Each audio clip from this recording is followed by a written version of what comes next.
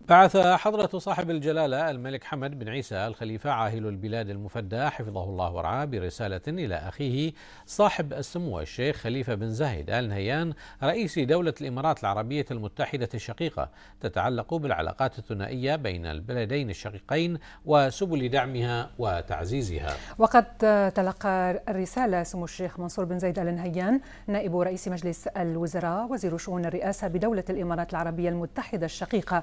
خلال استقباله سعة اللواء الركن خليفة بن أحمد الفضالة رئيس المراسم الملكية. وجرى خلال اللقاء استعراض العلاقات الأخوية التي تربط مملكة البحرين ودولة الإمارات العربية المتحدة الشقيقة والسبل الكفيلة بدعمها وتعزيزها في مختلف المجالات إضافة إلى بحث عدد من القضايا ذات الاهتمام المشترك. حضر اللقاء معالي أحمد جمعة الزعابي نائب وزير شؤون الرئاسة بدولة الإمارات العربية المتحدة ومعالي أحمد محمد الحميري الأمين لوزارة شؤون الرئاسة.